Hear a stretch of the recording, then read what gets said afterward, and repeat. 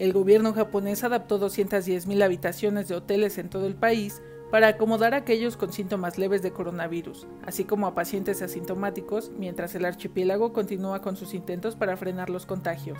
De las habitaciones de hotel, el gobierno ya ha concluido contratos con más de 6.000, informó el ministro de Revitalización Económica, Yasutoshi Nishimura. La cantidad de infecciones confirmadas en Japón ha superado las 11.000, incluidas unas 700 del crucero Diamond Princess, que estuvo en cuarentena a principios de este año en las costas de Tokio. El primer ministro japonés Shinzo Abe declaró el jueves estado de emergencia para las 47 prefecturas y pidió reducir el contacto entre personas.